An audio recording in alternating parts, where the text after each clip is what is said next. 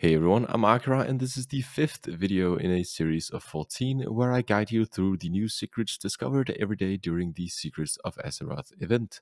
Completing all 14 of these secrets will grant you the achievement Whodunnit and I award you with Mount Pattie, who is probably the cutest alpaca out there. Anyway, let's begin.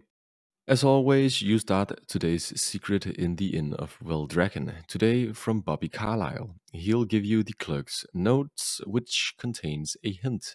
The hint states the Eastern Azure Span map, top level of Vakthros, and console is 11 minus 2 from door.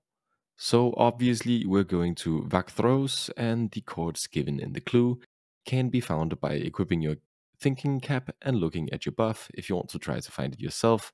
If you're fine with me simply showing it to you, it is located right at this location.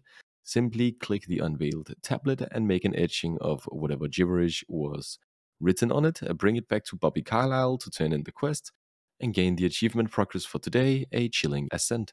And he will give the etchings of gibberish to Kathos for her to try and decipher for tomorrow. And that's it for today's video. Tune back tomorrow for day 6. Thanks for watching. Bye.